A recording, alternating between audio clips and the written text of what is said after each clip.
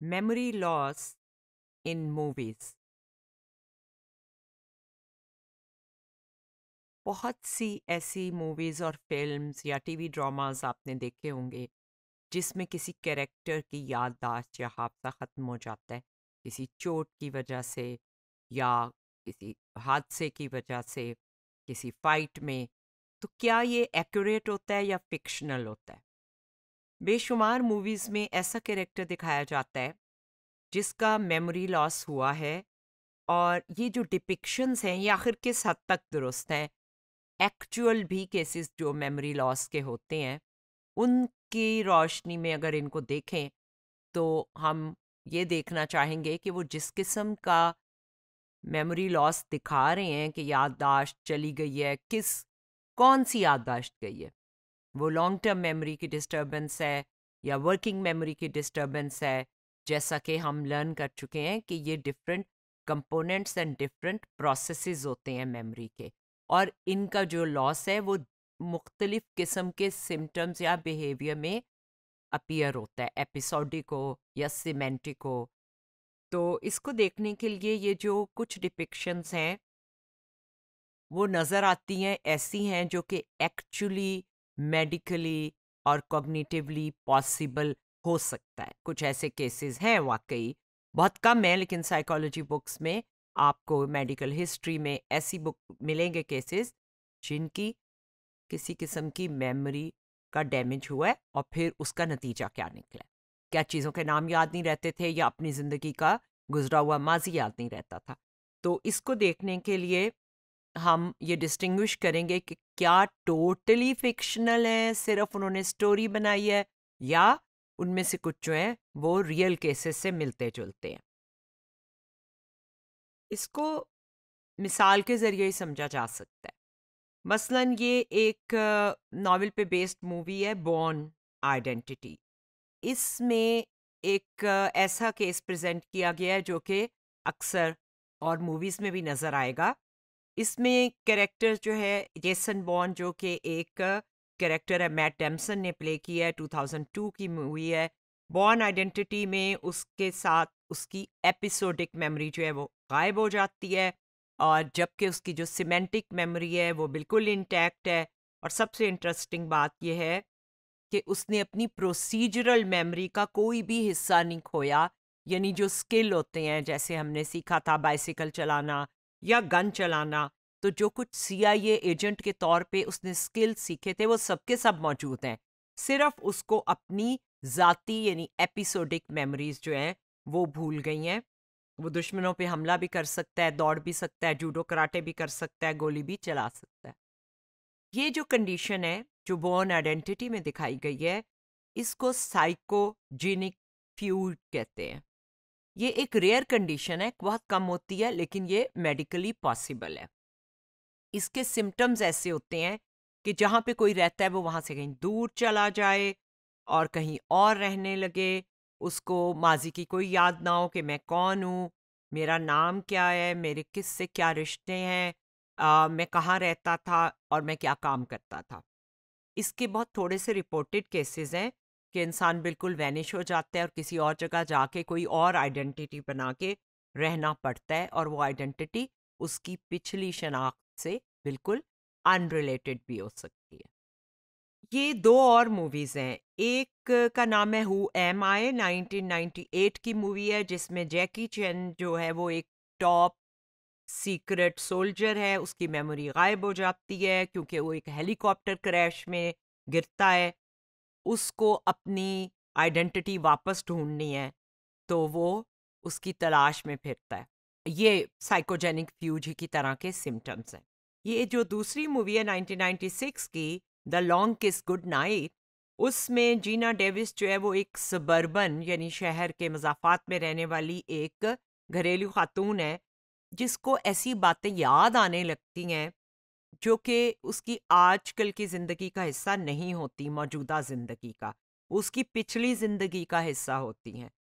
तो जो कि उसकी पिछली ज़िंदगी थी, उसमें वो एक सीक्रेट एजेंट थी। और ये जो उसकी साइकोजेनिक कंडीशन हुई है मेमोरी लॉस की, ये सर पे एक ब्लो या चोट, ज़रब लगने से हुई है। अब ये तो वो थे जिनमें एक्चुअली हो सकता है और वैसी एक साइकोजेनिक कंडीशन हमारे यहाँ मौजूद है उसकी गुंजाइश साइंटिफिक नॉलेज की रोशनी में। अब ये एक और मूवी है, जिसमें गाय पियर्स का करेक्टर है लेनी फ्रॉम द फ़िल्म मोमेंटो उसका मसला ये है कि he has trouble forming new memories और बार बार मुसलसल वो भूल जाता है कि उसके साथ क्या हो रहा है।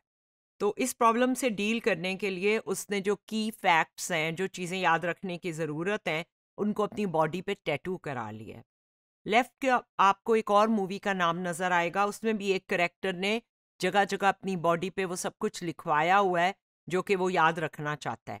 ज़ाहिर है कि आपको समझ आ गया होगा कि ये जो लेफ़्ट वाली मूवी है, वो मोमेंटो की बहुत ज़्यादा डिटो कॉपी है, लेकिन मसला इसमें यह है कि इसकी वोकेबलरी जो इस्तेमाल हो रही है वो गलत है।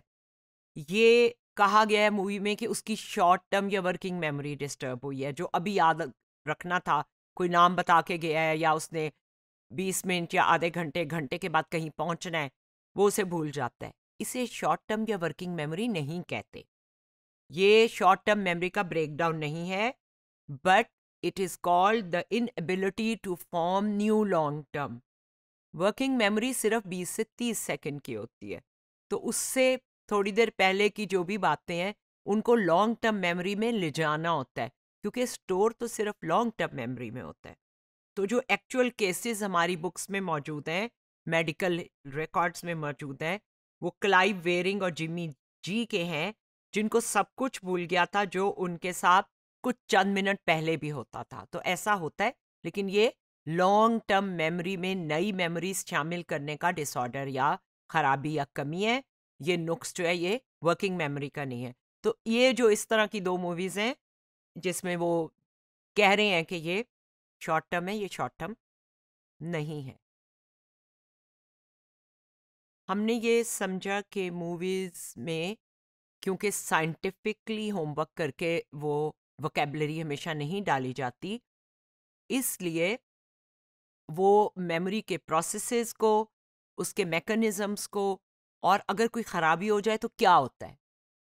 आपके कंप्यूटर में ख़राबी हो तो कभी स्क्रीन ब्लैंक हो जाए या फ़ाइल सेव ना हो या डिले हो, वो मुख्तलिफ़ तरीके से ख़राबी शो हो रही होती है।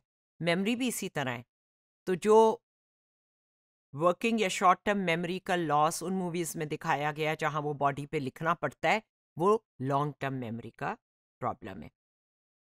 अब इंटरेस्टिंग बात यह है कि कुछ मूवीज़ ऐसी भी हैं जहाँ टोटली फिक्शनल है। ये साइंटिफिकली और मेडिकली पॉसिबल ही नहीं है। जो कुछ वो दिखा रहे हैं कि ऐसे भी याददाश्त में खराबी वाक़ हो सकती है। मसलन एक मूवी है first fifty dates I haven't seen it but इसकी जितने रिव्यूज़ और स्टोरी है वो ये 2004 की मूवी है, वो ये है कि ये खातून हर रोज़ भूल जाती है कि वो इस हीरो को आज मिली हैं। उससे बातचीत हुई है, वो इन्हें दिलचस्प लगा है, उसने उन्हें फूल दिए हैं और वो उससे अगले दिन मिलने का इरादा या उसकी तरफ़ एक रुझान या लाइकिंग पैदा कर चुकी है।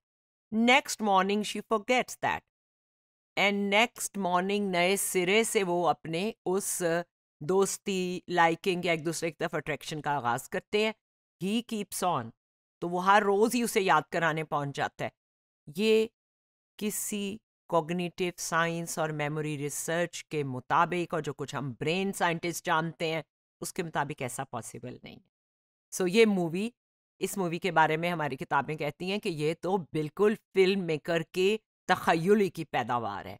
So it's not based on any scientific understanding of memory इसी तरह की एक और मूवी में भी मूवी को इरेज करने की टेक्निक बताई जाती है साइंस फिक्शन टाइप में।